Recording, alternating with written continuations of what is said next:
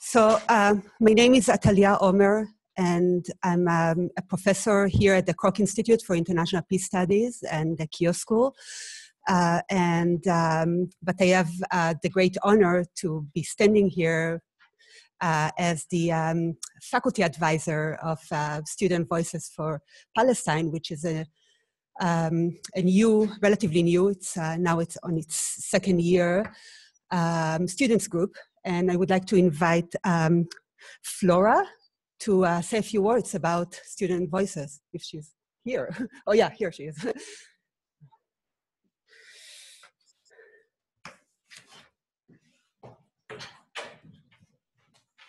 hi everyone. Thank you so much for coming. Um, and thank you especially to um, Dr. Omer and Assis Ateek um, for joining us today. Um, my name is Flora and I'm part of a club called the Student Voices for Palestine. And we are a relatively new club um, on campus that seeks to um, create dialogue and advocacy um, for justice um, in the Palestinian regions and for the people there. Um, yeah, so our club does a bunch of events um, from lectures to conversations, movie watches, and all of that. So if you're interested in, in hearing more from us or come coming to one of our events, um, we have a sign up sheet actually right outside of um, this, those doors. Um, so feel free to sign up um, with your email address afterwards. Thank you everyone for coming again.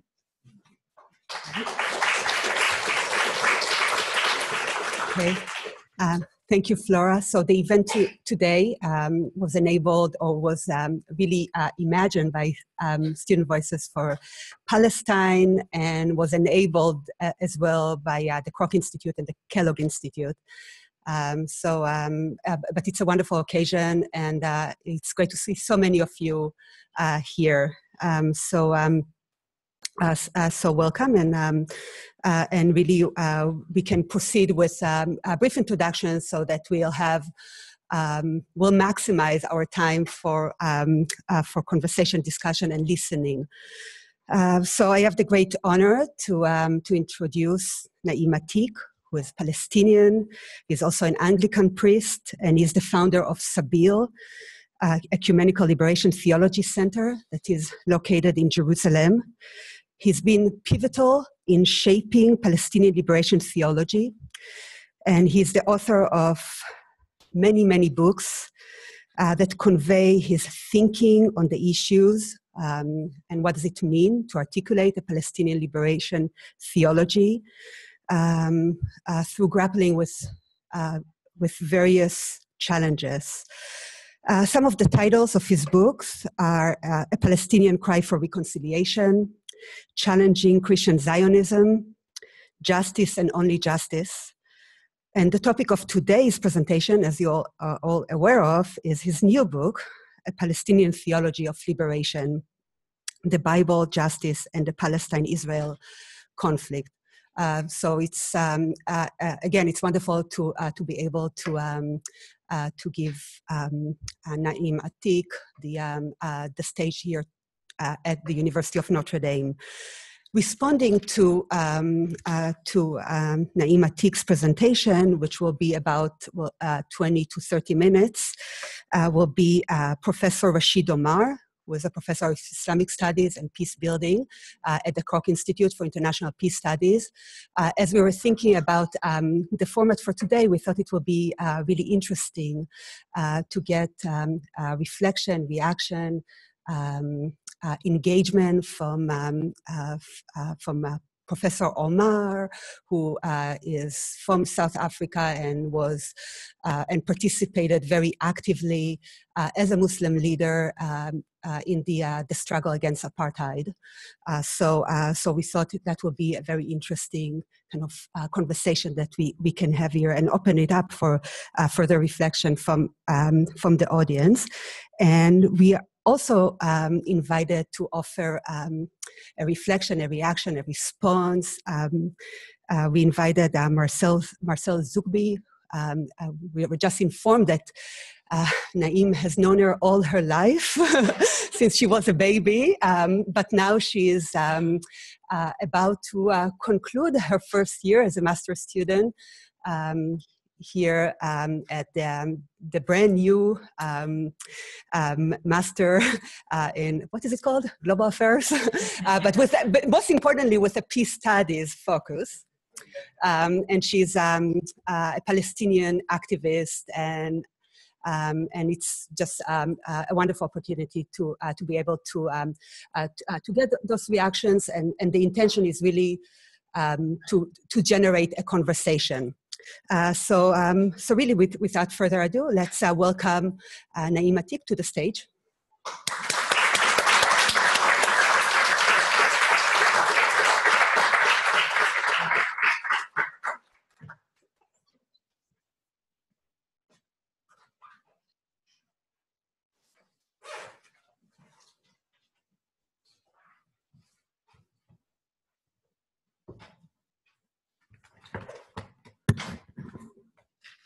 Thank you very much for the introduction. It's great to be here at Notre Dame. Um, I want to begin by bringing you greetings from Jerusalem. I was there less than two weeks ago. Uh, the situation back home is uh, is uh, getting much worse uh, politically.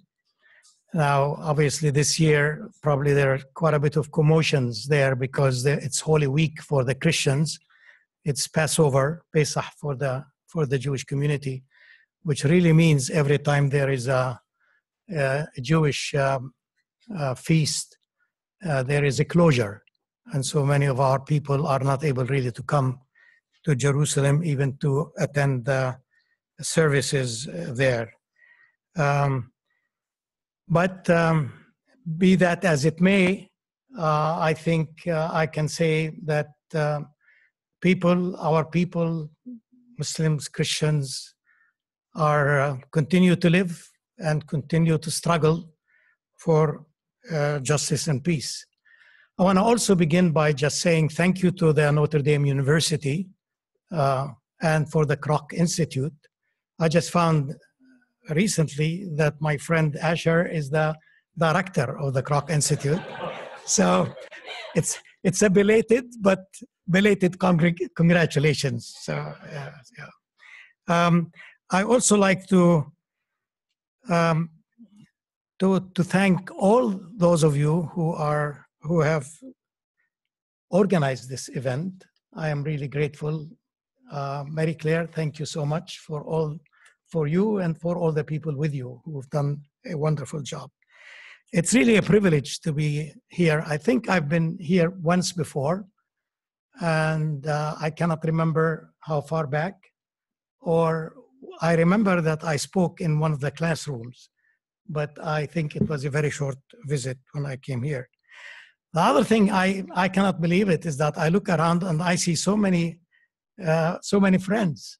So I'm very grateful. I feel like at home, you know, with Asher and also with my friend Rashid Omar. You know, I remember many years ago on my first visit to South Africa, Rashid was uh, the imam of one of the mosques there. I've never been invited uh, to speak in a mosque. I've attended many mosque prayers because of my Muslim friends, but Rashid comes and he says, I want you to, to preach, uh, uh, to speak in my mosque. I said, look, I don't have to worry my clerical collar. I can come, you know, just with an open shirt. He said, no, I want you to come with your collar to the mosque and you speak. And Cedar Duaybis, you know her, Asher, was with me. And both of us went to the mosque and she was sitting at the back. Uh, uh, but it was a wonderful experience. And then later on, on another visit, I went to South Africa Rashid was here in the States. He probably was at Notre Dame here, you know. But he told his wife, he said, You welcome Naim and you ask him to come to the to the mosque. You know, and I went there and I spoke again in the mosque. So our friendship goes back a good number of years now, and I have always appreciated uh, your work and your prophetic voice also there. Um, in a special way, I really would like to thank all of you students uh, for coming to, to hear me. I, I love to be with students, uh, and I appreciate very much that you are taking the time to be here. I want you tell, to I want to tell you, frankly, my generation has failed to find a just peace in Israel Palestine. So, in many ways, I trust that your generation will achieve a just peace based on international law and UN resolutions. And I pray that you will be more successful than we have been. And I hope that my presentation this evening will stimulate you and you will become committed to the work of justice.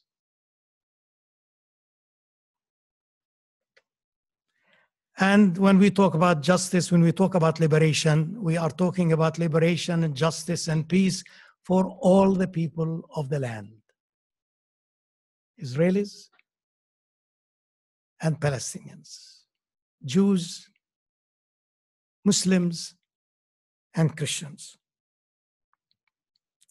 Now, my objective in this presentation is really to introduce the new book to you.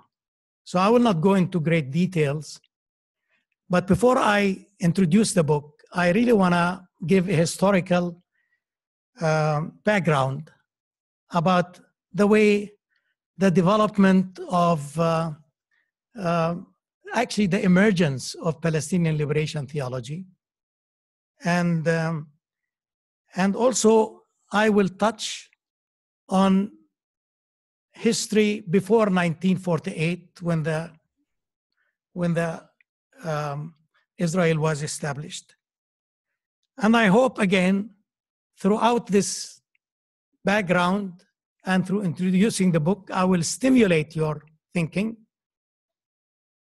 so that you will become engaged with us in the struggle for peace. With this, I'd like to begin. I will read most of this so that it will be less time. I've been told that maybe I need to speak for about 40 minutes, if it's okay with you, 10 minutes more than what you've given me. But uh, I, um, I hope I will, I will do that uh, almost to the point of about 40, 40 minutes, maybe 41, maybe 42, not more. Okay.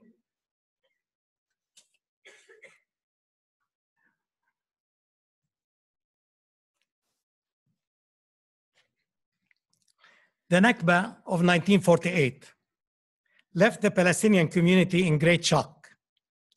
People could not believe what happened. Their whole life was turned upside down. They had suddenly become impoverished by the loss of their land, home, businesses, resources, and communities. Most of the people, most of the Palestinians, had been evicted by force or fled in fear from their villages and towns.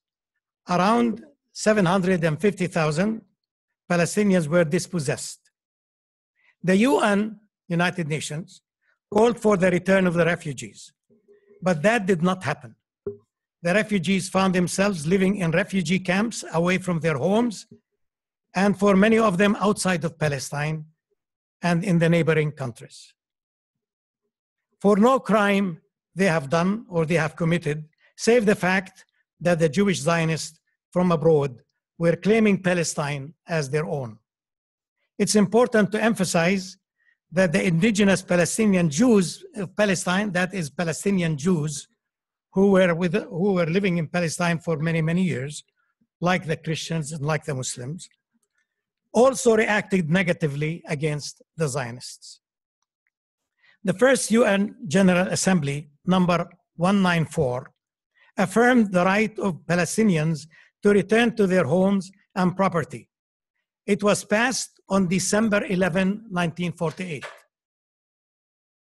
Significantly, one day before, one day before, the Universal Declaration of Human Rights came into being on December 10, 1948.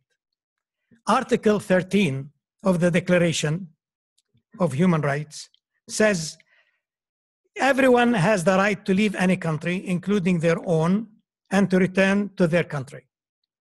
Israel's acceptance as a member of the United Nations was conditioned by its endorsement and implementation of Resolution 194 that the Palestinian refugees should return home, return home and receive compensation on conditions that they live in peace with Israel.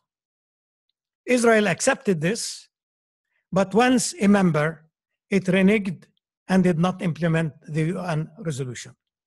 The great powers of the day, namely the United States and Britain, did not force Israel to implement 194 resolution. They could have, they could have, but they chose not to do it. It stands to reason that they were in collusion with the Zionists. The UN General Assembly Resolution 194 for the return of the refugees was passed and repassed again and again in successive UN General Assembly sessions, but no action was taken to enforce, to enforce it. It remains a blot, in my opinion, a disgrace on the conscience of all those powers who were partners in the crime against the Palestinians. The Palestinians call that the catastrophe of 1948 Nakba. It was a Nakba against over a million innocent Palestinians who were denied the right of self determination. The act for me, this act for me, was evil. That's the way I would see it as a Palestinian. The greater catastrophe, however, and the greater evil was that many of these people behind the powers believed that they were agents of God, bringing into fruition God's will for the world through the creation of a Jewish state in Palestine. They had no qualms about crushing innocent human beings. And I ask, what kind of a theology of God did these people have? I don't believe that God enjoys crushing innocent people. This is not the God that I believe in. I believe it was naked human hubris power politics, and it was another shade of colonialism and imperialism. Those powers wanted to, to reshape the Middle East as they please. Their military and political power made them believe that their might will make right whatever they want. From their expect, perspectives, the Zionists seem to be pawns in their hands. Realistically, however, the powers, Britain and the United States, I believe, were pawns in Zionist hands. The Zionist and later the government of Israel has been clever to reach its goals through manipulating and deceiving the powers, especially the United States, the American power. In such scenarios, the Palestinians stood no chance. Whatever happened to them was immaterial. What was important that for these Christian Zionists, God's plan of history must be realized. Now, it's very interesting to point to you that on September 17, 1948, few months after the creation of the State of Israel, Jewish terrorists exactly, I mean, the Stern Gang, whose one of its leaders was Yitzhak Shamir, a future prime minister of Israel, assassinated this Stern Gang, assassinated Count Folke Bernadotte of Sweden, who was the UN mediator to Palestine. Although the Israeli government condemned the assassination, it never apprehended the culprits, although they were very well known. They knew, the, they knew who they were. The first Secretary General of the United Nations, said that if the great powers accepted Israel's behavior, it would be quite clear that they would be tacitly admitting that the Security Council and the United Nations was a useless instrument in attempting to preserve the peace. Israel's failure to catch the assassins created a precedent that has become the pattern in Israeli behavior. Since then, Israel started flouting UN resolutions with no one to stop it. The international community has been too weak to stop Israel's violations of international law. This is largely due to the support and protection of Britain in the beginning and later on the United States. Since the assassination of Count Bernadotte, Israel, generally speaking, did not pay attention to world opinion so long as the United States was standing on its side and protecting it. Let me now move to another issue. After the Nakba of 1948, the local churches in Palestine were impotent and had no voice. Almost all the church's hierarchy was foreign. A Greek Orthodox Church patriarch, an Italian Roman Catholic patriarch, a British Anglican bishop, a German Lutheran Propst. The process of indigenization had not taken place. It would take 25 more years for indigenization to start, and even then, not completely.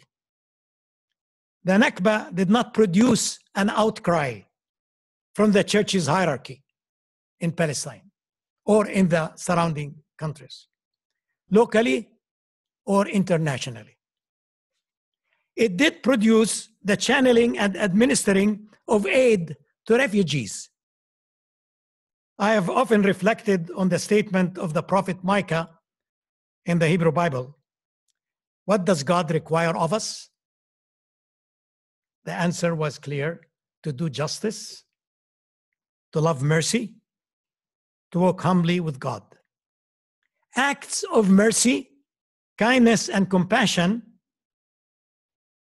are and were essential to lessen the burdens of daily of the daily life for those Palestinian refugees. We needed mercy. We needed aid. But acts of mercy cannot be a substitute for justice. We must not stop with mercy. We must not allow mercy to trump justice. Unfortunately, many times the church stops with aid and mercy and compassion. Unfortunately, it seems that the doing of mercy relieves the church's conscience. And they say, ah, oh, we've done what we can. The prophetic imperative, my friends, is to do justice and to love mercy. Let me say a few words about church theology before 1948. In the early days of the Nakba, the theology of our church's hierarchy was a theology of resignation. Many of them believed that what happened was the will of God. This is, this is God wanted this. It is so easy to dump things on God. Dump the problem on God closes the it closes the discussion. They did not question or test whether it was God's will or the will of sinful human beings. God does not will evil action, human do. It is people of power who conspire against their fellow human beings to kill and dispossess them. As Christians, as humans, we must resist evil without using evil means. The church's hierarchy could have lifted out, an outcry against the injustice, but they did, that did not happen. In the 19th and 20th centuries, the Bible was not available for the Orthodox and the Catholics, the Catholic Christians. It was available for the Protestants and in Protestant schools. The missionaries were emphasizing the importance of personal faith in Jesus Christ. The children in schools were taught the contents of the Bible, both Old and New Testament. In their teaching and preaching, the Western missionaries spiritualized the text of Scripture. The local Palestinian Christians were not aware that the Old Testament contained within it texts. If used literally, it could dispossess them from their homes, land, and country. In other words, the Bible did not only bring them the blessing of salvation and redemption through Jesus Christ, it had the potential to ethnically cleanse them and uproot them from their land. In 1948, the Zionist ideology was not clear to most of our people. We did not know who these Zionists were, what, they, what their ideology is, what do they want to do. The first Zionists were not religious, they were atheists and secular. For them, they were conquering a land that many of them believed belonged to their ancestors. If they used the Bible, it was for political reasons. Some would say the Bible is our land registry. Somebody, I repeated this sentence yes last night uh, where I was speaking in Chicago, and uh, one person said, uh, that the next quote I have, he said it was Ben Gurion who said that. I had, I don't, I'm not sure, but uh, but I heard, I've heard people who would say, uh, uh, you know, uh, secular people, atheist, Zionist, they would say, we don't believe in God, but He gave us the land. It's very interesting, very interesting.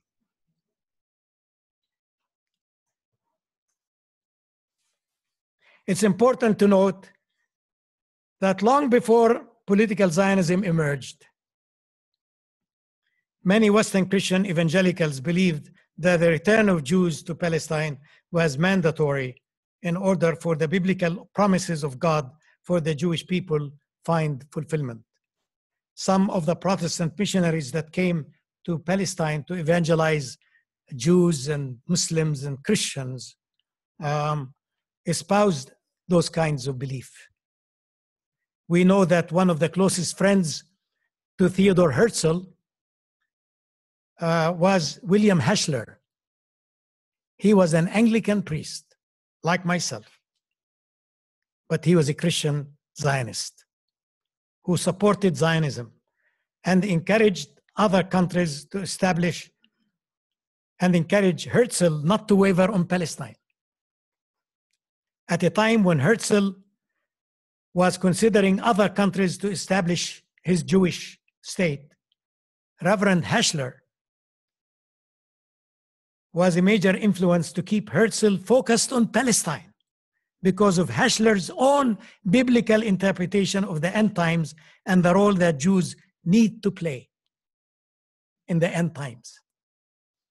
Some of the Protestant missionaries that came to Palestine were influenced by the teachings of John Nelson Darby.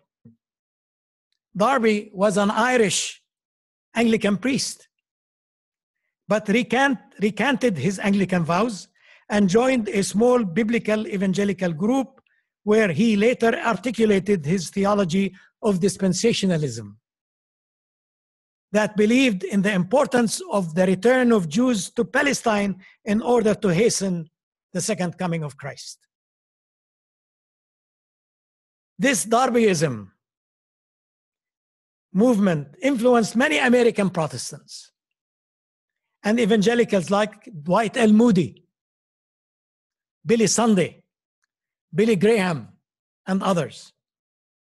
One of the most prominent proponents was Cyrus Scofield, who published his famous Scofield, Scofield Reference Bible that promoted, promoted dispensationalism, that impacted millions of evangelicals and Protestant Christians in this country who believed in the return of Jews to Palestine. Some followers of Darby started lobbying their government to send Jews to Palestine. In the, in the 1840s, Lord Shaftesbury in England lobbied the British government. William E. Blackstone, an American evangelist from Chicago, next door, lobbied President Harrison to send, to send American Jews to Palestine. His book, Jesus is Coming, became a bestseller and was translated into many languages, including Arabic. I still have my father's copy, probably given to him by one of the British missionaries in Palestine. In this book, Blackstone states that Jews had to return to Palestine and establish their kingdom in order to hasten the second coming of Christ and the end of the world. Years later, there were other Europeans and American Christians that supported Zionism because of the suffering of Jews in the Holocaust. The well known American scholar Reinhold Niebuhr, uh, some of the older folks here would know of him. He was committed to Zionism and was eager to bring justice to Jews, but was blind to the injustice against the Palestinians. He died in 1971, long after the creation of the State of Israel and the War of 1967. Yet, to my knowledge, he failed to see the suffering and oppression of the Palestinians at the hands of the government of Israel. The same can be said about Bishop Professor Krister Stendahl. Again, some of you would know him. Dean of Harvard Divinity School, who only later in life was able to discover the violence of Zionism against the Palestinians. And when he raised the questions about it, I knew him very well. I knew him very well.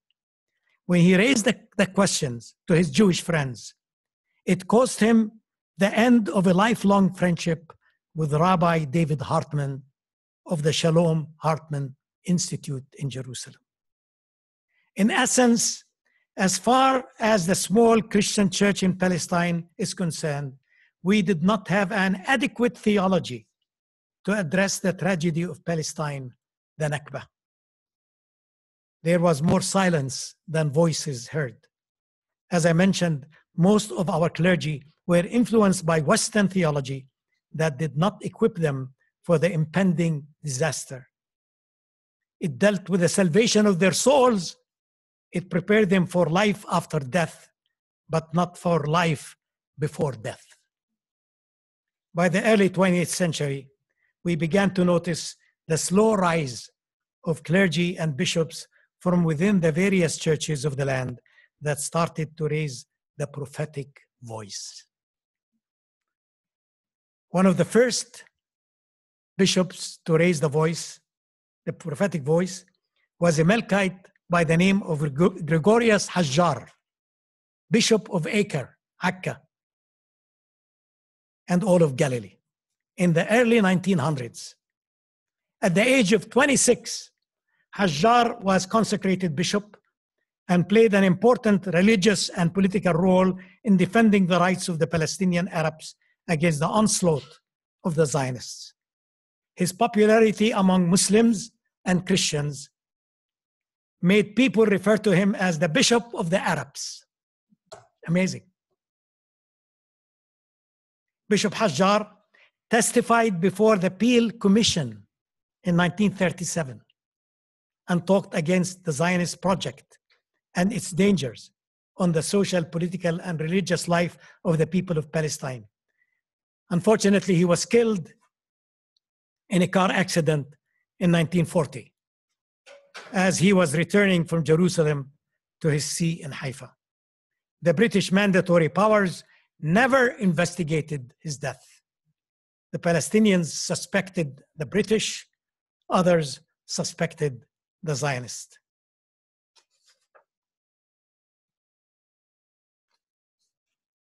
Another person, and in my opinion, he was really the first bishop who did a serious nonviolent uh, resistance against the Israeli uh, injustice. His name was Archbishop Joseph Raya, Yusuf Raya. Uh, before coming to Israel as the bishop of the Melkite community in, of Galilee, at the end of the 1960s, uh, Raya spent 17 years serving the Melkite Church in Birmingham, Alabama. See, it's amazing how the connections, when you look at it, where he marched with Martin Luther King during the civil rights movement.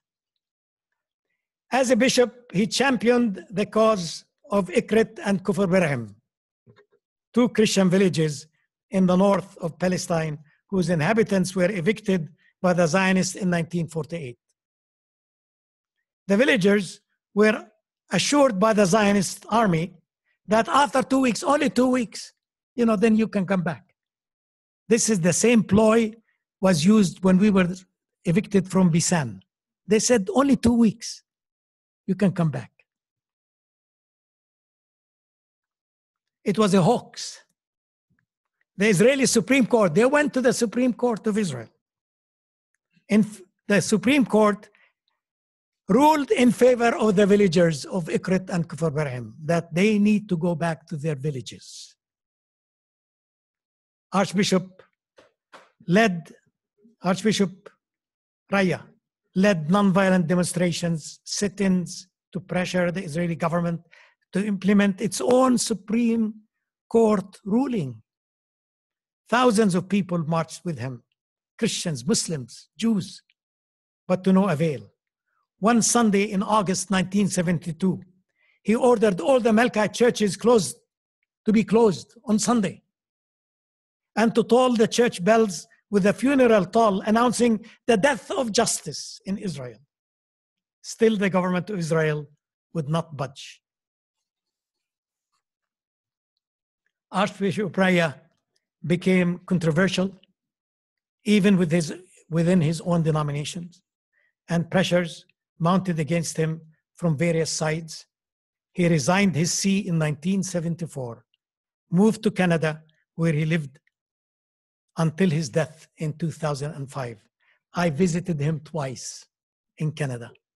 Few, the last, the second time, just few weeks before he passed away. Raya inspired Father Chacour, many of you know him, Elias Chacour, who in 1984 wrote his first book, Blood Brothers, in which he told his own story about his village of Kufr Birham.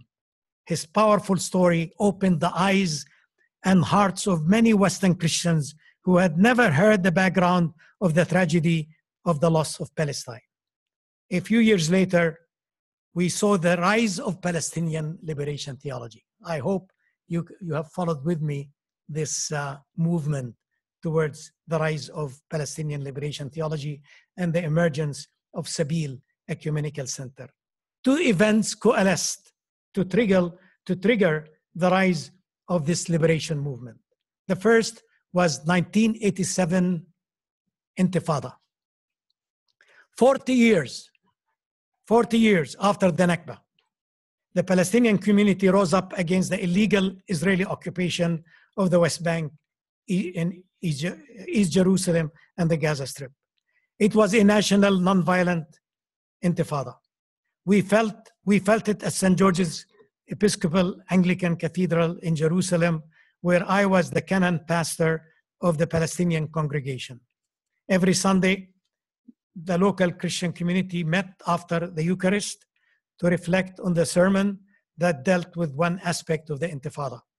Men and women discussed together what it means to be Christian living under the oppressive occupation.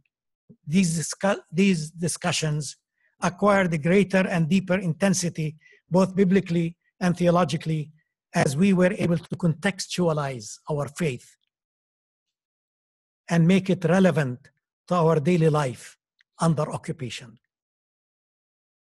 More Christians from the other denominations began to join us at St. George's for worship and discussion. People would relate their stories of Israeli army brutality, the beatings, the incarceration of men, women, and children, some of them from our own congregation, and the nonviolent resistance of our people. The discussion became more exciting when these Palestinian Christians discovered that Jesus Christ, whom we call Savior and Lord, lived all his life under occupation. He was a Palestinian like us, born under occupation, lived all his life under occupation. He carried on all his ministry under occupation, and finally he was killed by the occupation forces in collusion with the religious leaders of his day. And so the questions, our, my, our people started asking the question can Jesus help us? What can we learn from him if he lived all his life under occupation? And that immediately drove us back to the Gospels to study more about how did Jesus live, his way of life, his teaching, his relationship with other people. People began to see Jesus Christ as the, their para, paradigm of faith and their liberator.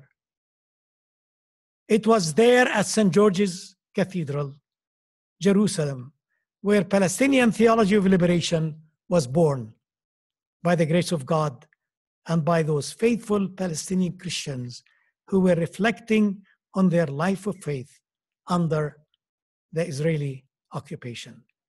The second point that triggered the rise of Palestinian liberation theology is that providentially, I my dissertation was I was tur- I turned my dissertation into a book, and I had the manuscript ready, and that's when I met um, I met um, my friend.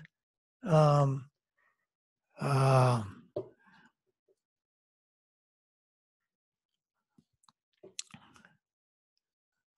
the the the Jewish uh, Marc Ellis. Thank you.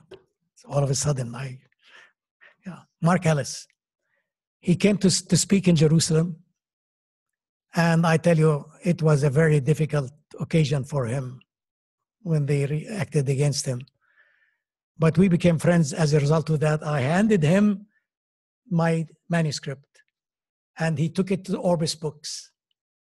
And in 1989, the book was published, and we marched then from then on to the work of Palestinian liberation theology, and it was a wonderful, a wonderful journey so far.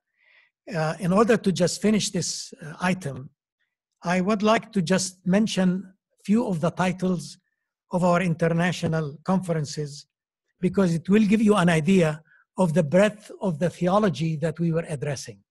So I just, these titles just give you that idea. The first conference, and I'm thankful to the presence of Kathy Bergen here, because in 1990, we had our first uh, conference in, in uh, at Tantur, actually, and is connected with uh, Notre Dame here.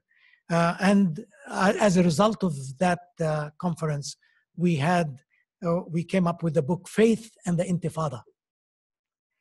But so that one that had to do with the about Palestinian liberation theology, about my book that was just out. But another 1996, uh, listen to this the significance of Jerusalem to Christians and Christians to Jerusalem. In 1998, the challenge of Jubilee, Hollow Land, Holy Land, Hollow Jubilee, God, justice, and the Palestinians. In 2001, One New Humanity, where justice is at home. in 19 in 2004 challenging christian zionism theology politics and the israel-palestine conflict. In 2006 the forgotten faithful a window into the life and witness of christians in the holy land. In 19 in 2008 the nakba memory reality and beyond.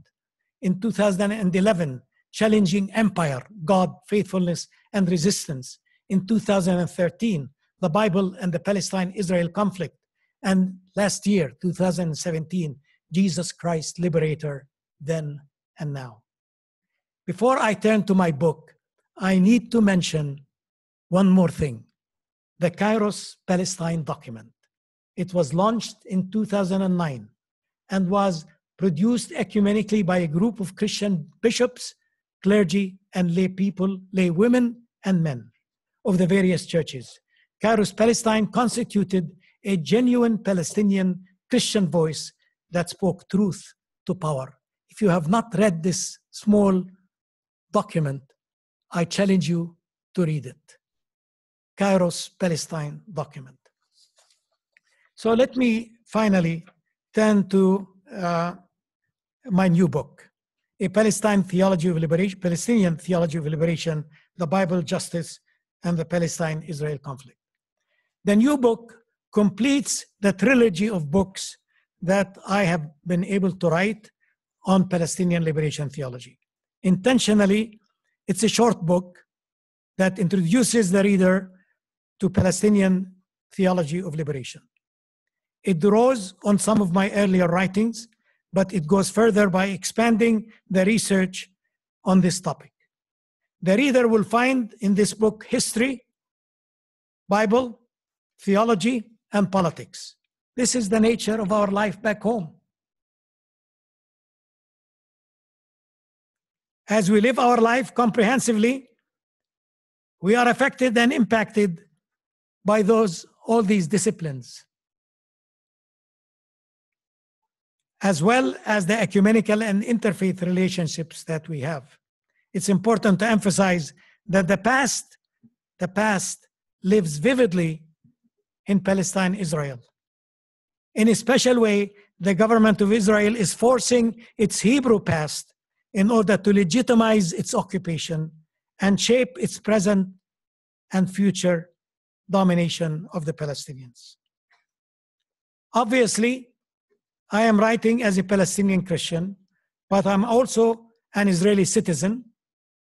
This means that I have experienced Israel since its inception I was a boy in 1948 when we were evicted and dispossessed by the Zionists by force from our home in, in, in Bisan, south of the Sea of Galilee.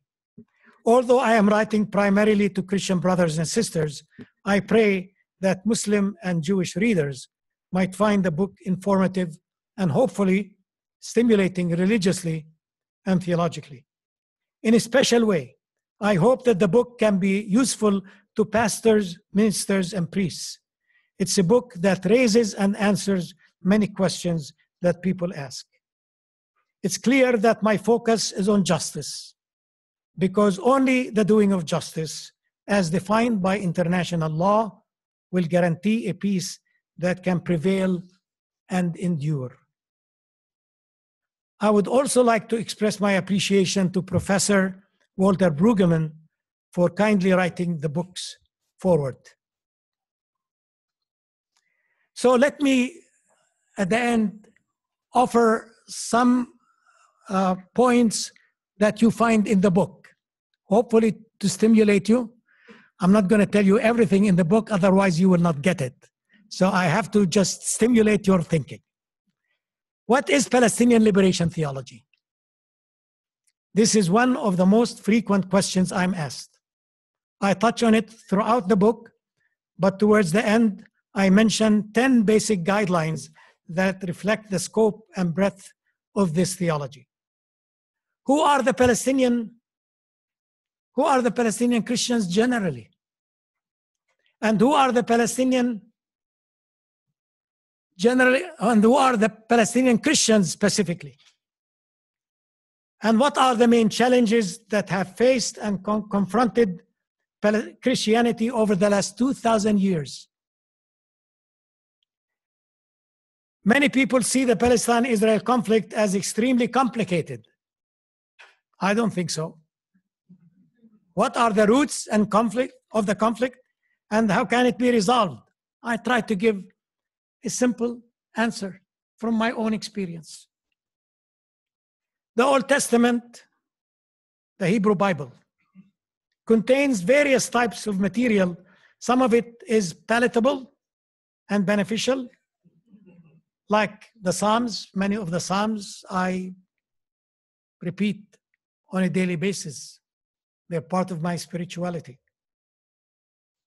They lend themselves to spiritual health while others are difficult to understand and are detriment to our faith and human morality. How can we handle the moral, religious, and theological discrepancies that are in the texts? I try to give the reader more than one key that can help unlock those dilemmas. Another point. Where do we find the climax of the Hebrew Bible? the climax of the theology in the Hebrew Bible, our Old Testament. One of the most beautiful stories in the Hebrew Bible that was authored by a very gifted writer is that of Jonah.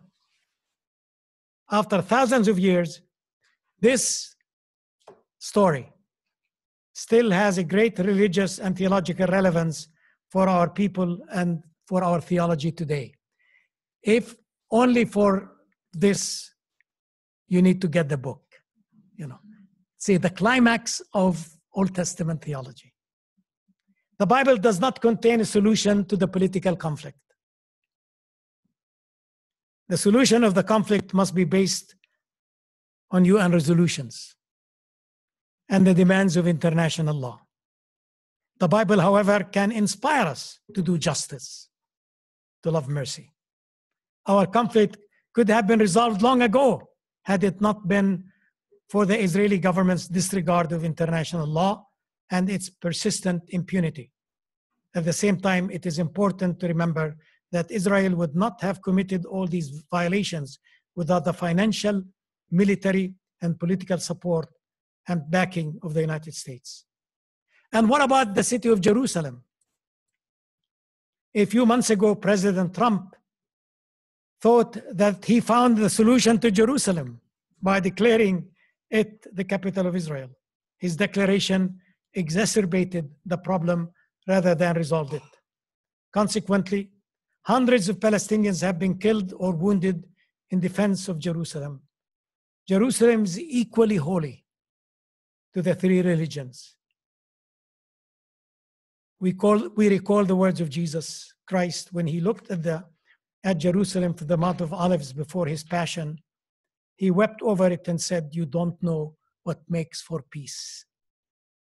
I try in the book to offer some fundamental guidelines for the, for the resolution of Jerusalem. From the Gospels, we know that the summary of the law and the prophets is found in loving God and loving neighbor. When did the love of neighbor become the second commandment? Who was the first to initiate and promote to promote this and connect it to the first great commandment? This is, I tell you, you would love this. In a nutshell, the political conflict over the land of Palestine has to do with the biblical theology of land how did Jesus Christ and the Apostle Paul interpret the tradition regarding the land? When you strip all of these religions, Judaism, Christianity, and Islam, to their basic core, what is the heart of religious faith in the 21st century?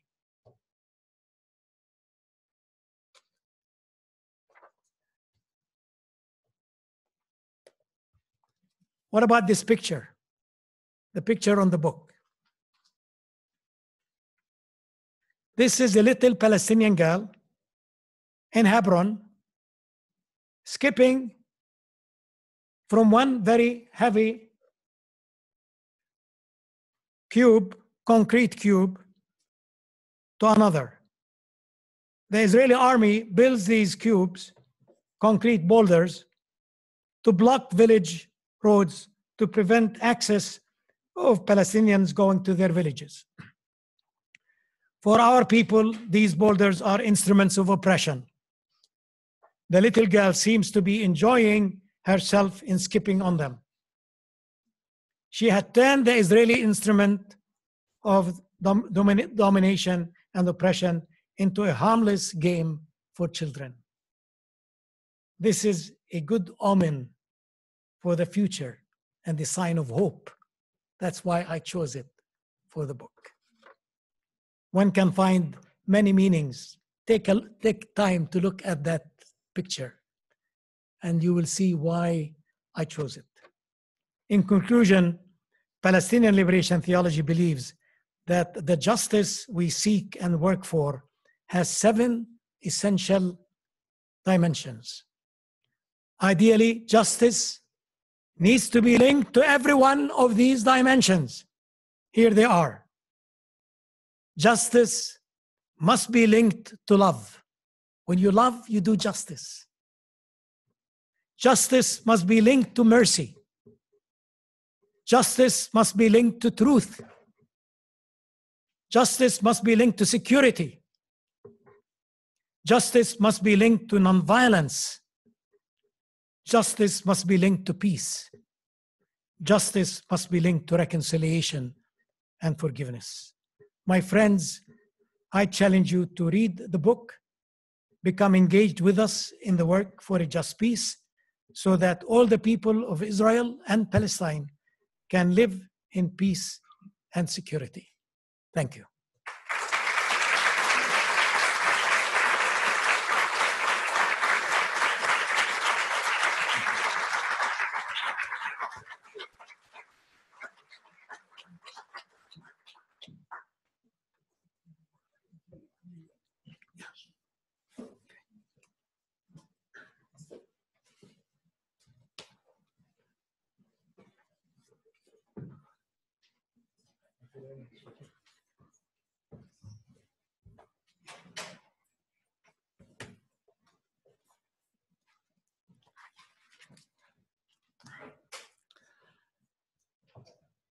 Good evening.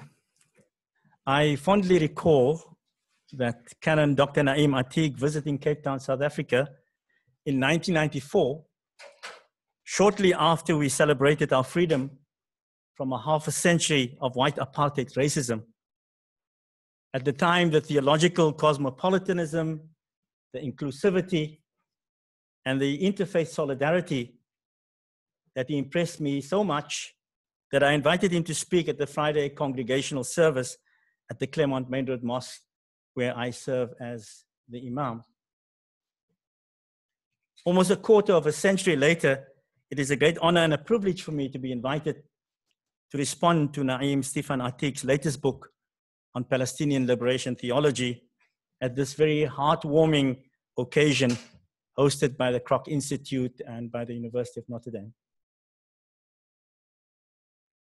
As a Muslim scholar, I view my comments to Reverend Naim Ateek's books as a critical part of how he understands Palestinian liberation theology. It is an interfaith theology. However, I hasten to point out that it, it, is, it is a radically different kind of interfaith theology and dialogue that has become popular in recent times. Interfaith dialogue and solidarity as an essential pillar of Palestinian liberation theology goes beyond what Naim Ateek's good friend, the Jewish scholar Marc Ellis calls, and I quote, the ecumenical deal, unquote. In the latter form of interfaith dialogue, social justice issues and more particularly the unjust policies of the Zionist state of Israel, is really part of that interfaith agenda. Naim Ateek concurs with Marc Ellis that much of the contemporary interfaith dialogue industry is founded on the exploitation of Western European Christian guilt for its role in the Holocaust. And thus it serves to silence any legitimate criticisms of the unjust policies of the State of Israel. In the remainder of my remarks, I would like to draw two parallels between our struggle against the racist apartheid system in South Africa and the ideas and the praxis articulated in Naim Ateek's book on Palestinian liberation theology. In the first point, I draw a synergy between the two struggles. And in the second, I identify an important dissonance. When comparing the South African apartheid system and the Zionist state of Israel, the most obvious starting point is the abuse of the Bible in defending and upholding justice, injustice, and atrocity. In the case of South Africa, white theologians of the Calvinist Dutch Reformed Church used the Bible, and they could quote to you particularly verses to justify the apartheid racist system of racial discrimination and the oppression of black South African citizens. In fact, our educational system, of which I'm a product, was called Christian National Education. Similarly, Ateek eloquently illustrates that in the case of Palestine, religious Zionists, and in fact, many more Christian evangelicals, use texts within the Old Testament to justify the forcible expulsion of indigenous Palestinians from their ancestral lands in order to legitimate the continued expansion of the Zionist state of Israel and the unjust persecution of Palestinians.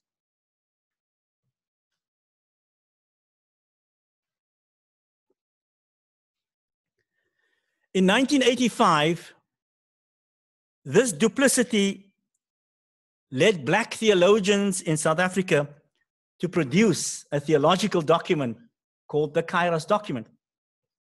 And one of the central questions that the Kairos theologians grappled with, and which is indeed the central theme of Naim Ateek's book, is the following. And I quote this is from the South African Kairos document 1985. I quote Can the Bible be used for any purpose at all. Unquote. The answer is a resounding yes. As a Muslim theologian, I have asked a corollary question Is this unique to the Bible? The answer, of course, is no.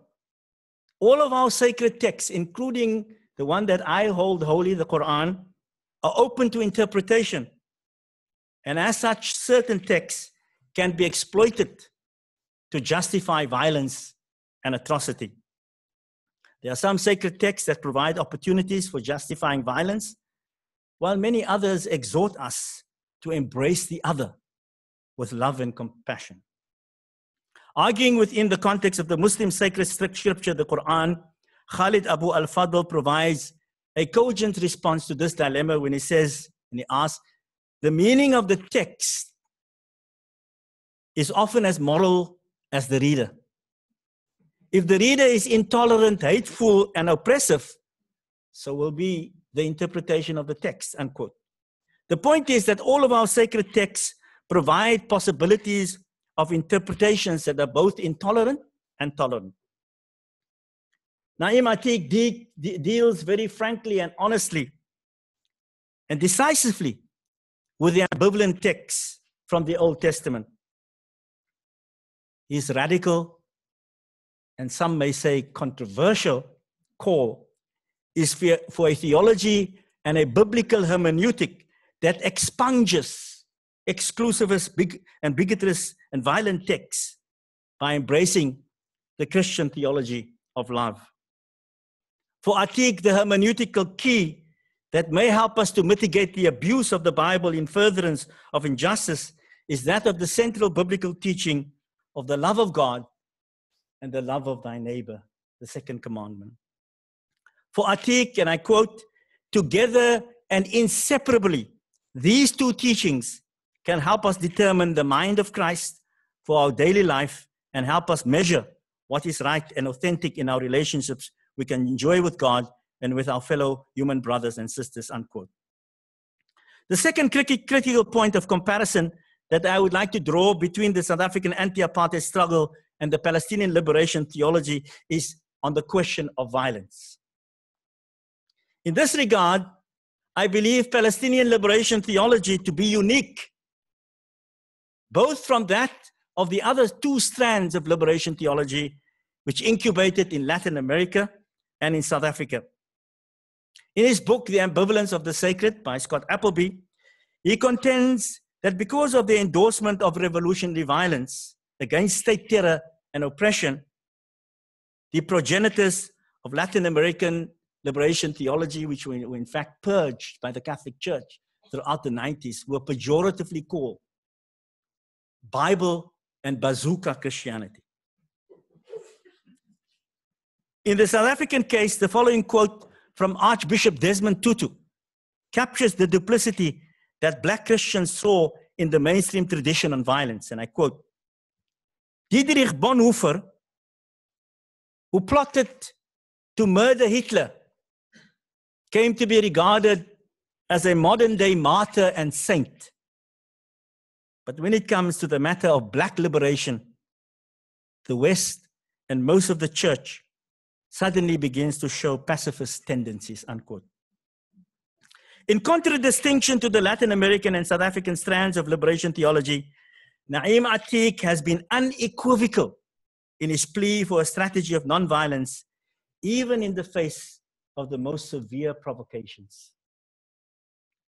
Ateek makes a cogent case for a strategy of nonviolence when he argues, and I quote, where we can match Israel is through nonviolent resistance. The Israeli military is not trained for nonviolence. The state of Israel doesn't know how to respond to nonviolence.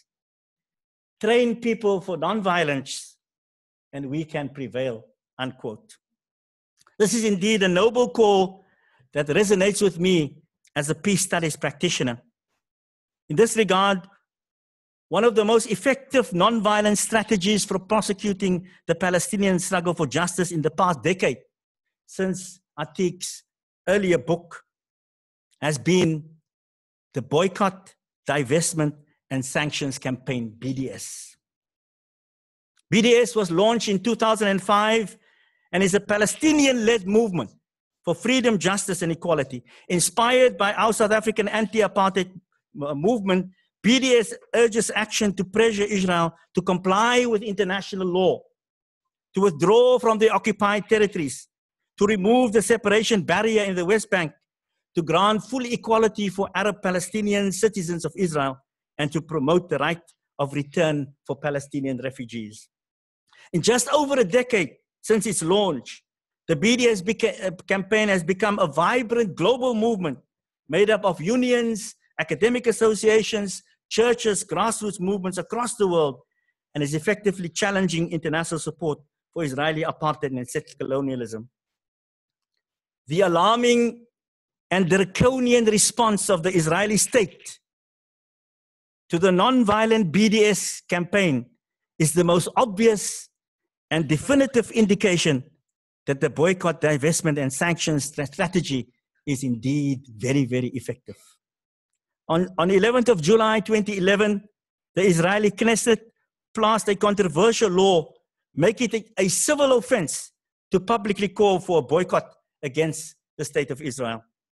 Last but not least, just over two months ago, on the 7th of January 2018, Israel's Minister of Strategic Affairs published a list of 20 specific non-government organizations whose officials will be banned from entering the country, including BDS National Committee, the BDS France, BDS South Africa, BDS Italy, and BDS Chile. It is palpable that the BDS movement is undoubtedly the most effective nonviolent strategy in advancing the Palestinian struggle for justice and human dignity. It is therefore disappointing that the BDS movement, as a violent, as a viable non-violent strategy, is not mentioned in Naim Ateek's latest book on Palestinian liberation theology. It is only by providing concrete alternative non-violent strategies that we can effectively decry violent options in the face of mass atrocities, such as the cruelty and brutality that Palestinians face. In conclusion, as a Muslim peace studies scholar, it is my considered view that Palestinian Christians, such as Reverend Dr. Naim Stifan Ateek, they hold the key to unlocking the epic struggle for liberation. For Palestinian Christian voices, as we have heard, they are far more eloquent and more powerful than their Muslim compatriots. This is perhaps best illustrated in the theological document called Pal- uh, Kairos Palestine, A Moment of Truth, released in December 2010. It has long been my mantra that Palestinian Christians should be encouraged to become the voice and the mouthpiece of Palestinians to the world. They will bear witness to the same oppression and indignity of their Muslim compatriots. But more importantly, it will disarm Zionists and their Christian enablers from reducing the Palestinian conflict to a religious conflict where violent Muslim extremists seek to exterminate all Jews. The latter has become a dominant narrative in the West, and Palestinian Christian activists have the power to shift this false narrative by foregrounding the settler colonial features of the Palestinian struggle for justice. Thank you for your patience.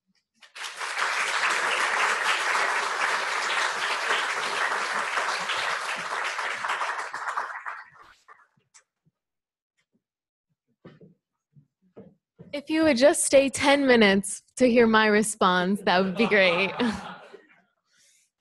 okay.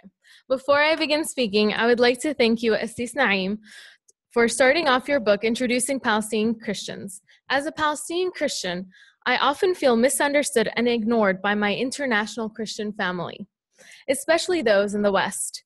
And I would like to ask everyone to visit not only our beautiful ancient stones, but also visit us, the living stones.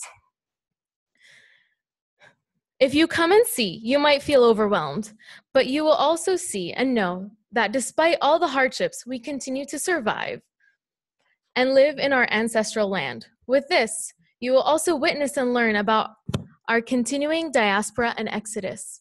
The remaining Palestinian Christians in all of historic Palestine only make up 1.7%, and this is an estimated to be an inflated number.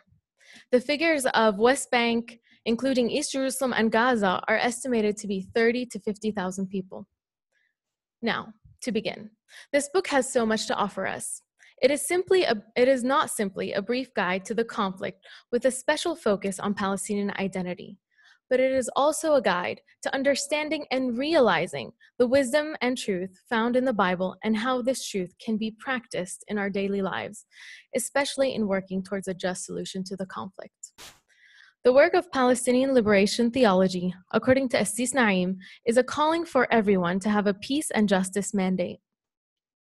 We have a shared responsibility to find a peace resolution to the conflict that is built on justice, truth, mercy, and reconciliation.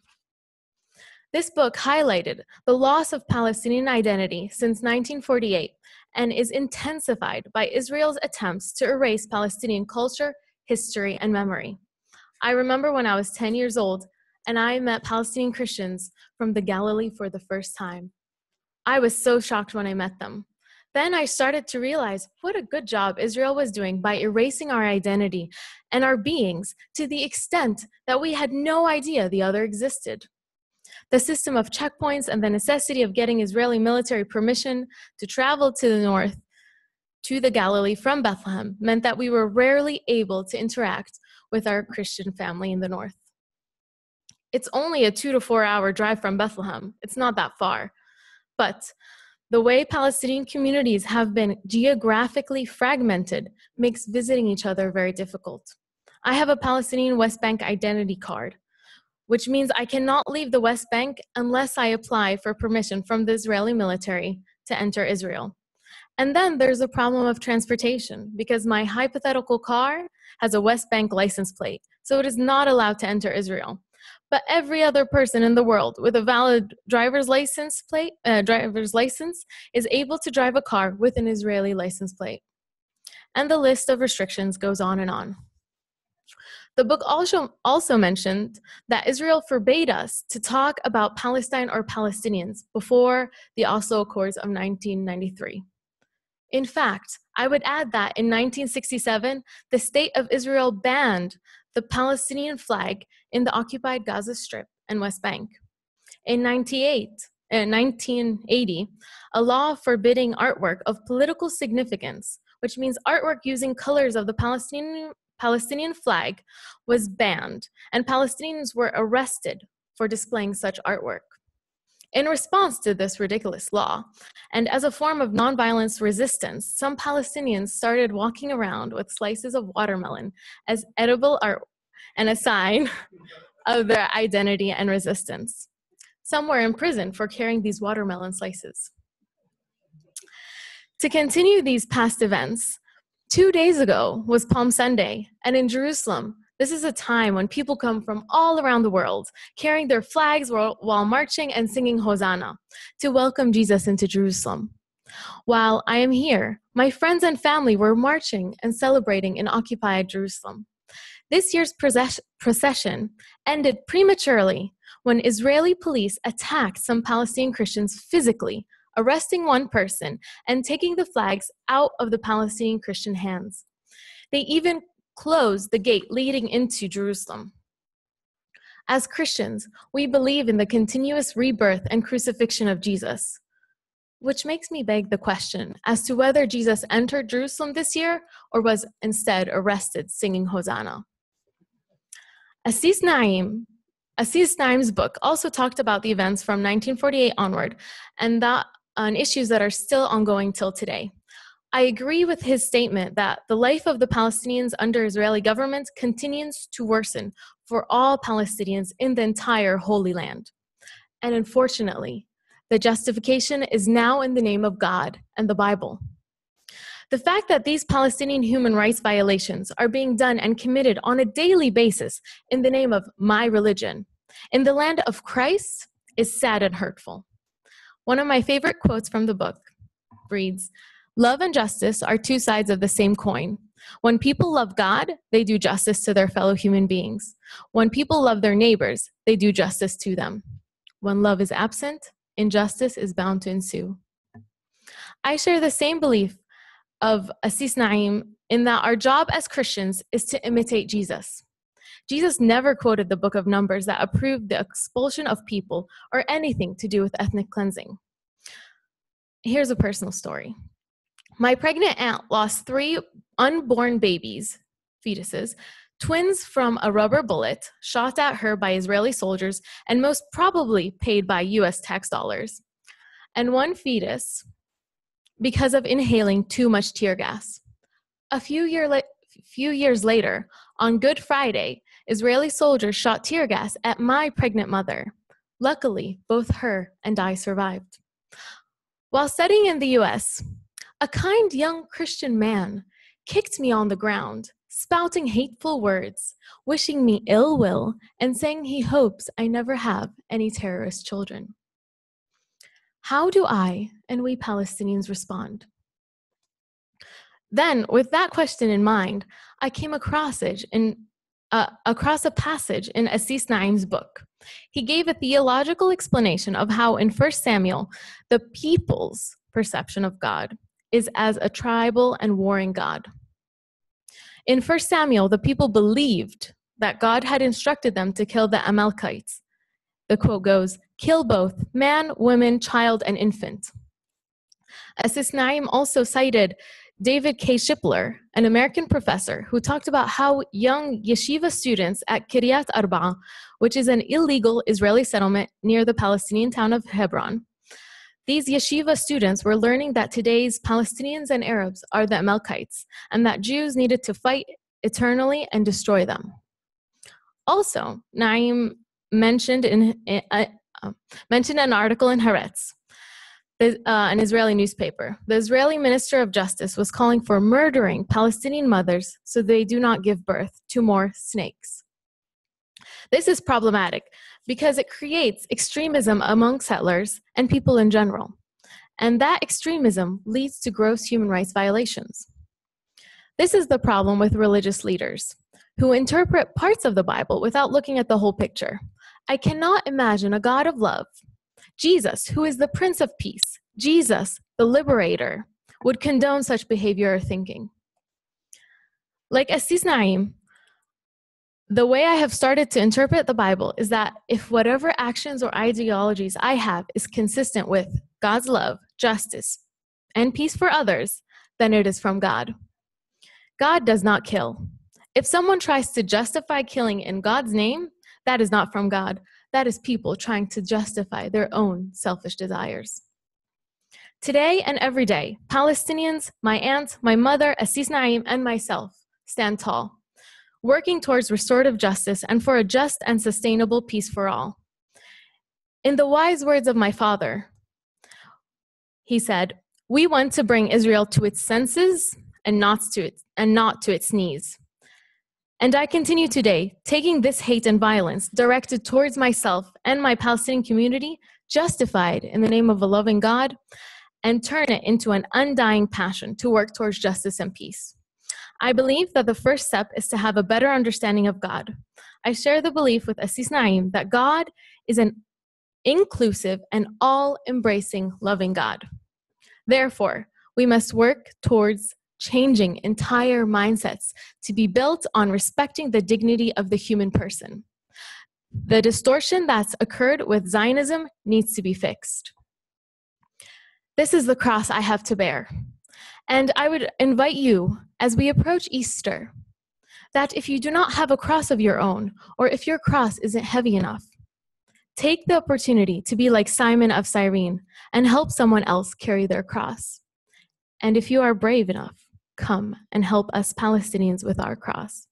And bring a few friends, because it's quite heavy. Thank you.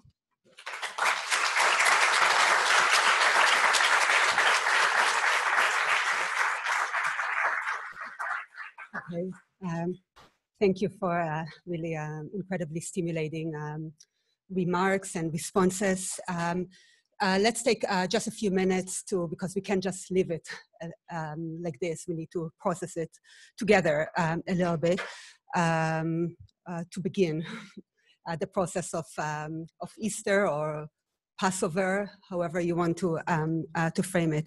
Um, one question, or I have two questions to start us off with. that really draw on some of the, the issues that were um, articulated by um, uh, by the responses and of course your um, uh, your presentation. So um, I failed to mention uh, in in the introduction that the first time that I encountered you um, was in a, a, course at Harvard um, uh, that was taught by Harvey Cox. it was a, a, course on liberation theologies.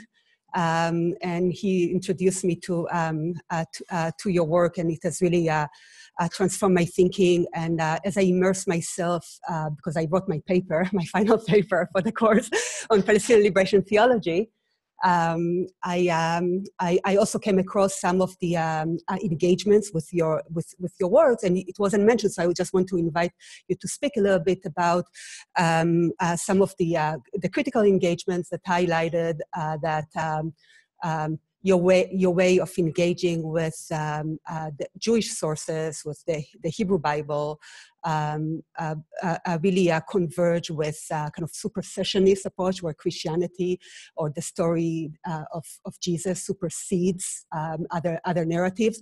So I know that you've reflected on this, so I, I just want to, to invite you to speak about it to um, to this audience. Um, that um, uh, uh, this question of uh, supersessionism. and then um, another question that um, really draws on Marcel's point about um, interpretation and Rashid's point about uh, Christian Palestinians being the key to unlocking the, uh, um, uh, the narrative and the process of liberation. Uh, uh, to what degree can you reflect together with us on the kind of uh, um, challenges or how the challenges are being navigated where the um, exclusionary understanding of what the liberation is going to look like? So more specifically about Muslim-Christian relationships in, in the context of Palestinian liberation. So please. Thank you. Yeah, uh, can you hear me? Can you? Yeah. Yeah, it's good. Um, yeah, uh, it's um, first of all, thank you, my friend Rashid. Uh, thank you, Marcel. It's beautiful. It's really beautiful. Yeah. Um, on the question of supersessionism, um, it's a it's a big issue um, that has um, that has been difficult maybe to deal with because it it's not only have to do with um, uh, people reflecting theologically; it has to do with emotions also. Uh, but uh, in the in the New Testament, um, it's possible to find some verses, you know, that um, that can be interpreted as uh, the Christian church has taken over uh, the place of uh, Judaism or Jews. You know, it all it all has to do with the question of chosenness or election. Um, so there are obviously many texts in the in the Hebrew Bible that talk about God uh, God's election of the Jewish people um, and God's choosing the, the, the Jewish people in a special way. Um, it's very clear. In the New Testament, it's possible to find some verses where now that the Christians have become or have taken the place of the Jewish people in the in the Hebrew Bible. And uh, and that has been has become very very difficult because politically it led to the to um, to anti-Semitism over many centuries, and and so after the Holocaust, when uh, groups of Jewish scholars and Christian scholars uh, were meeting to talk about how anti Semitism had not only emerged but had, had become, uh, uh, become a danger, you know, in the history, in the, in the development of relationship between Christians and Jews, and how it has affected the rise uh, of anti-Semitism, um, and this was unbelievably bad. You know, where the Christians began to start to look at themselves and how they have uh, contributed to the question of anti-Semitism. You know, so many of the Christian scholars started to reflect on this whole question of election, and especially that on the supersessionism, which is that uh, that the Christian the Christian church, the Christian community, has uh, taken over, and that now the Jewish people are uh, are not are no more elected or chosen. Now, it's a it's a big topic. It's a big topic, but basically, our contribution in Palestinian liberation theology was that I don't think this is right. I I am aware of all the text in the New Testament, so I'm not I'm not talking out of no no knowledge. You know, I'm talking about having studied all these texts I think we have a problem. We have a problem with the text also in the New Testament. But I really believe that we did not supersede or we did not take over. We did not. Uh, uh, we did not uh, uh substitute or uh, uh, taken over the role which Jews have, but we march together as people of God. And I would also open it up even not only to Jews and Christians, I would open the whole question of election and chosenness to the whole of humanity. You know, that there are texts that talks about specifically about uh, election and chosenness, but I think theologically speaking today, we can talk more universally, you know, in that sense.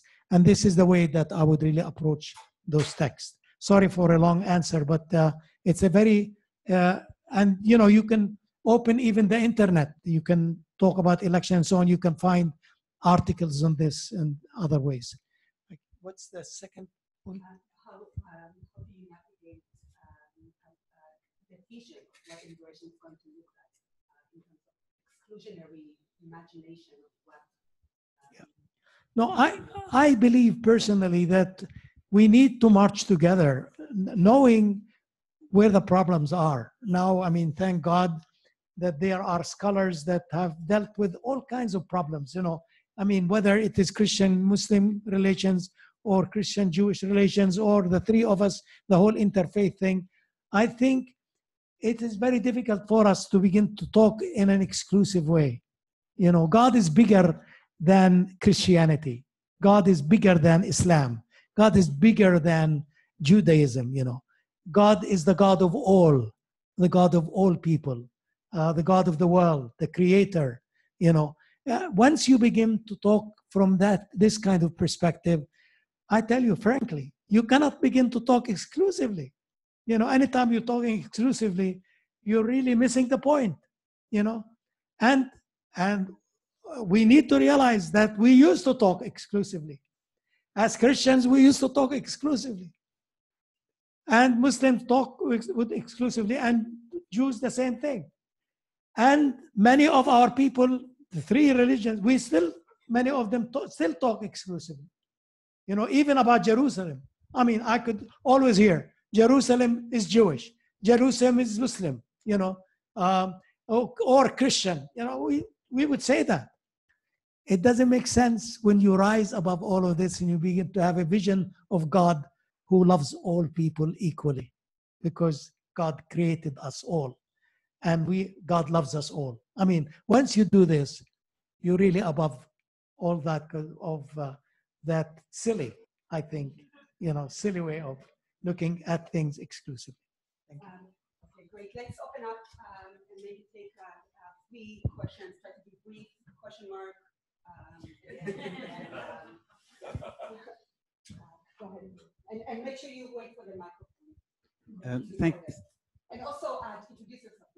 thank you very much. Uh, my name is Damon. I'm a graduate of the Kroc program here, and I did an internship with uh, Gershon Baskin and Hanna Siniora in Jerusalem some years ago. But uh, to get very quickly to the point, according to the scholar Lara Deeb, who did research in, in Lebanon, the members of Hezbollah have an extremely interesting understanding of their place in, in Islam. And it's a gendered understanding. So men and women see themselves differently. And women see themselves as emulating Zainab and as in a kind of narrative of progression. There's a sense of sequence to what they're doing. Whereas, according to Deeb, um, the men are going, uh, they're going to Karbala. And she doesn't mean by they're going to Iraq. No, she means that they're they're becoming Hussein. They're like looking through Hussein's eyes, which is different to how the women are, are viewing it. And irrespective of whether we like Hezbollah or we don't like them, I think there's an incredible richness there, and uh, and their sense of time and their sense of place in it. So I'm wondering if you can find any parallels in Palestinian Christianity or not. Okay, uh, do you want to take uh, a couple more questions at the same time? Or? Okay, so let's take uh, over there.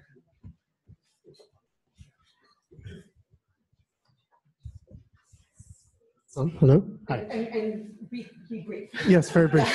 Hi, my name is Rob Delanoval. I'm in the history of Christianity. Um, my area of research has been um, Christianity in Russia, um, 19th and 20th century, and I've been struck there by the very interesting role that um, Eastern Catholics have played in kind of rising above the geopolitical conflicts of their time. There's a scholar in our department, Yuri Avvakumov, who's worked quite a bit on this, and I was struck in your talk about the Melkite bishops who played such a role in bringing this conflict to an international consciousness.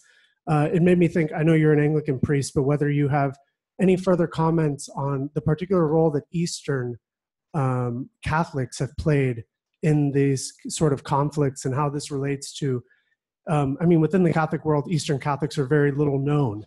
Um, their existence is a surprise to many people, but I think their particular witness in standing between East and West can really bring, um, can contextualize and localize uh, the smallness of some of these disputes as you talk about it. So thank you once again. Okay, gender diversity. So. yeah, no? Come on. no? Okay, well, you want to tackle those questions and the next question will come from the woman.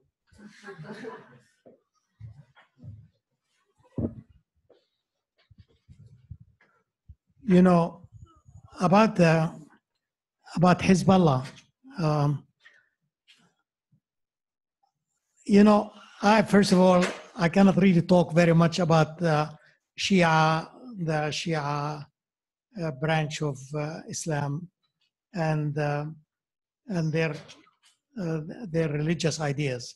I know very little about it, but um, but many times I'm very much impressed by the speeches of uh, uh, of Hezbollah, uh, especially the the secretary al-Hizb, the secretary of the of the party, uh, Nasrallah.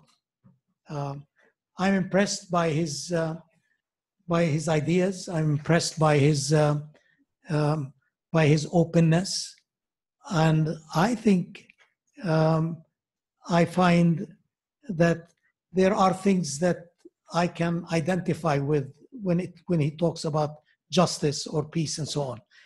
There are things that I disagree with, but you know maybe uh, my friend Rashid can answer specifically your your your question uh, on on the on the Hezbollah uh, because I'm sure there need, you need you need an answer to that. The other thing about the Eastern Catholics, I just want to say very briefly, and this historical point, maybe it's important for all of us here. Um, the indigenous church of the land, the indigenous Christians of Palestine, uh, we would say the Orthodox, the Orthodox Church. This is Eastern Orthodox, Byzantine Orthodox. But in 17, 1724, 24, there was a split within the Eastern Orthodox Church. And part of that church that split became known as the Eastern Catholics or Greek Catholics or Melkites. These are, they're part of the Byzantine church uh, that split. But now it has become very confusing to people because you know when i mentioned two of the bishops that i mentioned in my presentation hajjar and raya were eastern catholics they were greek catholics or melkites. And they're part of the original. My family is an orthodox in i mean in the beginning it is part of the families that were the indigenous church in palestine that go back to the apostle times you know, and and so would be the Orthodox and the and the Melkite Catholics. You know, they're also part of the early Christian church that was the indigenous church of the land. This is very important. But then after the split, unfortunately, all kinds of things and enmities and hostilities began to appear between them.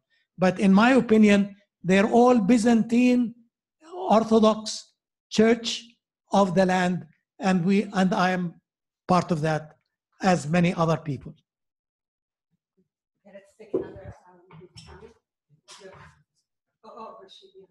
Yeah, I'm not sure I can. I'm able to answer your question, Damon, because uh, I'm I'm not a Shiite. I'm a Sunni. But this is wonderful because the key thing is that uh, uh, you know whenever we think about another group, we think of them as monolithic. No, there's a whole lot of groups, each one claiming to be the most authentic voice of Islam uh, and so on. But I also know within Shiism, I'm not sure about Hezbollah. The whole Karbala and the you know Hussein narrative is very contested. Before the Iranian Revolution, there was a lot of quietism. It was then used as activism with, the, uh, with Khomeini and the clergy. With the Iranian Revolution, it continued to be so with the war with Iraq from 1980 to 1988. Um, it was very expedient to use that more activist martyrdom, uh, you know, theology uh, to get young men to, to defend the uh, Islamic State of Iran. But in recent times, especially with regard to the Sunni violence of Al Qaeda and Daesh, it appears there is a new thinking emerging, especially within Iran and Iraq. So you have, you know, they have the Arba'in, 40 days after uh, the martyrdom of Hussein. They have a march, millions of people. And that march has been recently you know, transformed in the sense by the horror of what the Shias are experiencing from Daesh to come back to embracing a more peaceful and a more compassionate vision of the events of Karbala. So, um, other reactions? Yes. Uh,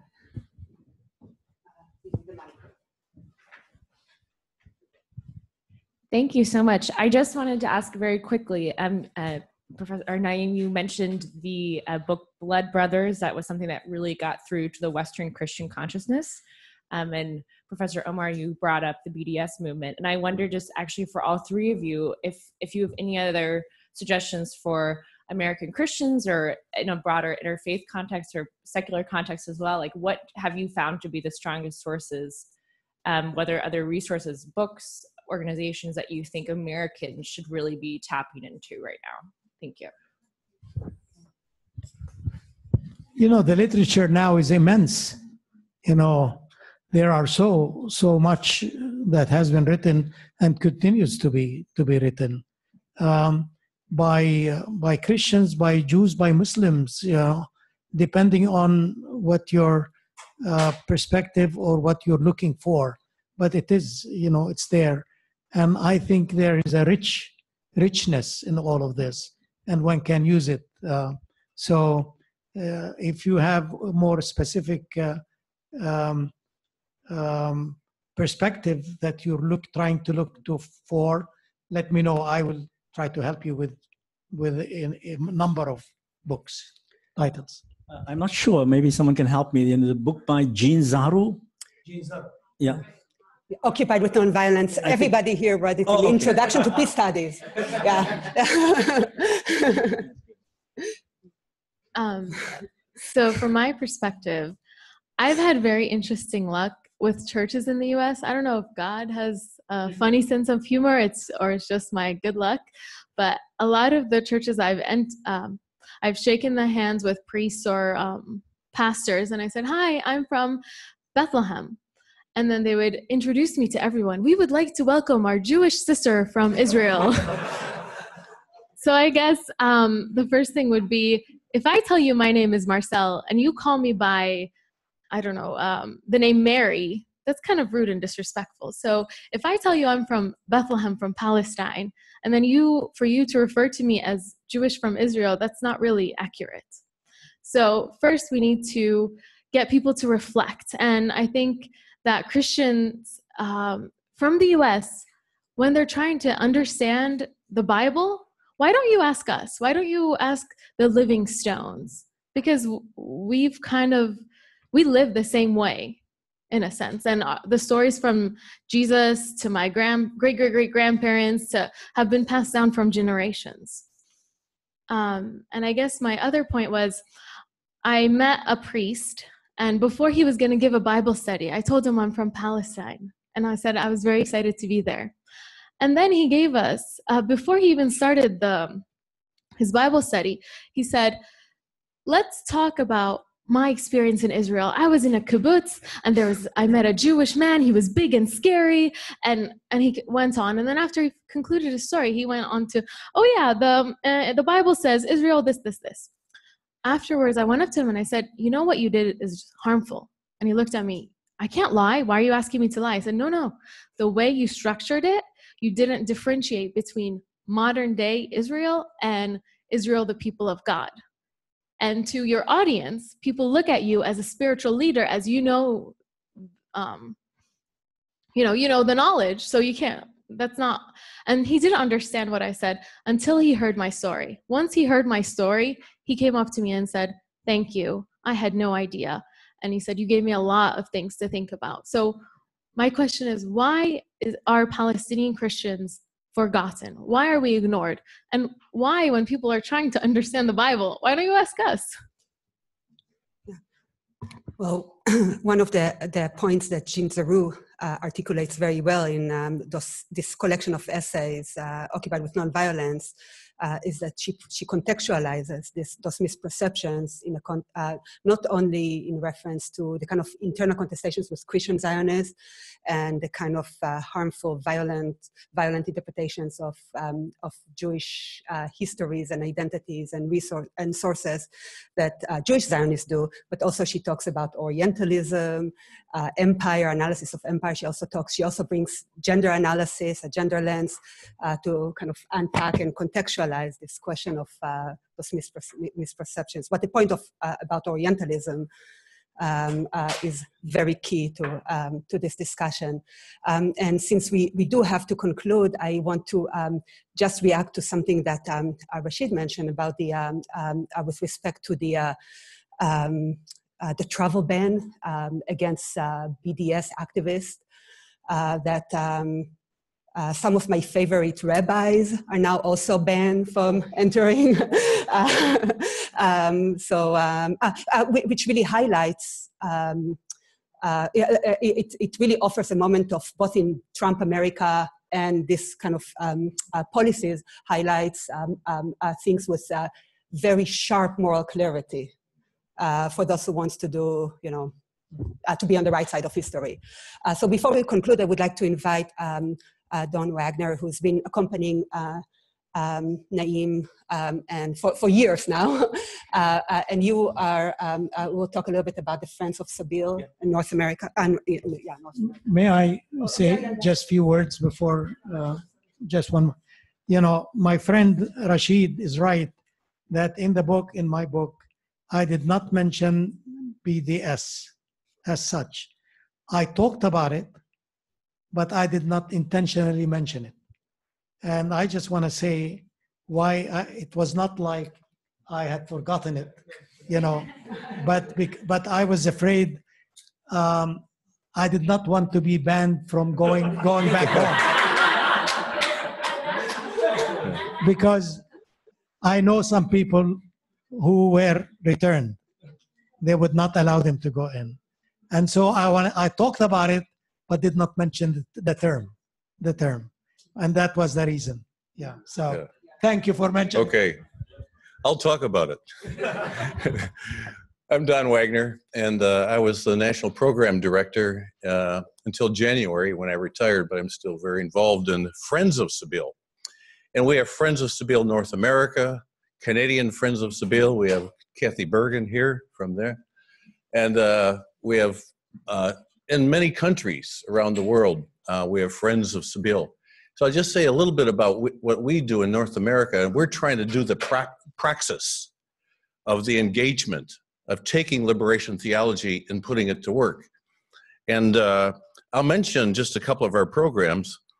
Uh, one is we are focusing a lot on Hewlett Packard. And we have a program called HP Free Churches. And all you need to do is sign a statement that we will not buy any more HP products, including the ink, faxes, copy machines. HP is deeply involved with the Israeli military, is being boycotted by many churches, and uh, they do the magnetic cards, which tracks Palestinians. Uh, and this is perpetuating the occupation in a very deep way. They're involved with the Air Force. So we are boycotting HP products, Hewlett Packard. Maybe we could get an HP free department at Notre Dame. You don't have to throw your uh, printer out. Just sign the pledge no more HP products and buy something else. So let me know if you're interested in that. HP free Notre Dame and Kroc Institute and so on. So that, that's one. Uh, we take about six or seven witness trips. We call them witness trips because we are engaging the occupation and the struggle with both Israelis and Palestinians. And uh, we take about seven trips a year. My wife and I are leaving in two weeks on one. And the focus of our trip is popular resistance and liberation theology in Palestine. And we'll be looking at eight models of resistance, mostly nonviolent. And I know Kathy Bergen and Joy Lapp are leaving in, is it June, Kathy? And they're looking for people. Great opportunity. See, see Kathy uh, for that. It may be a little late to sign up for our group, uh, which is leaving in two weeks. Um, we send out action alerts every week. On, and if you're interested, let me just get your email uh, because we, Sabeel puts out a wave of prayer which weaves theology into prayer and action. And it's a model, I think, of uh, praxis.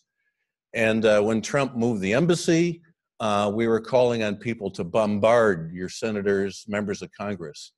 And you probably know that the Christian Zionists, particularly Christians United for Israel, worked two months putting pressure on the Trump administration before that embassy move.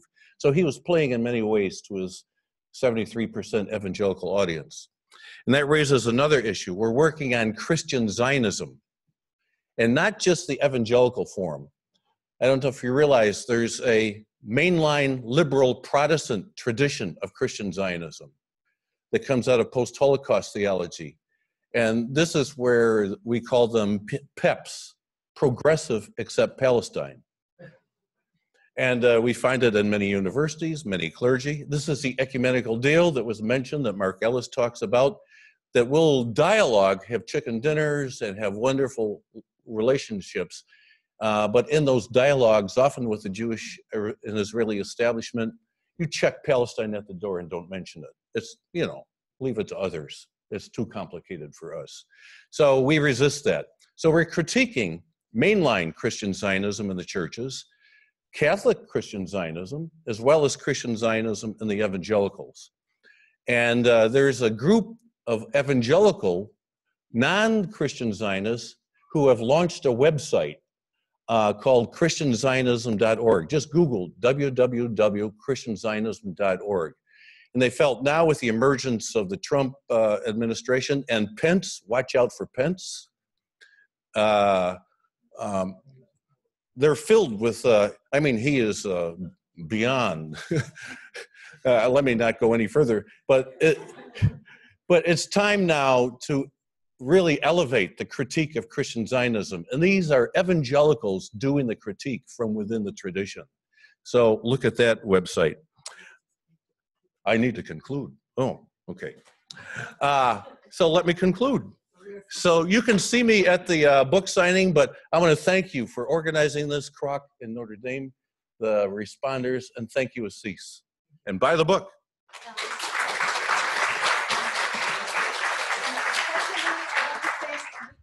Um, the, um, students. Yeah, Marie Claire, yes.